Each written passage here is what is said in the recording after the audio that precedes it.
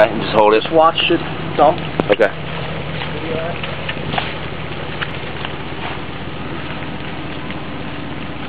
We're at a customer's house delivering firewood today. Thank you.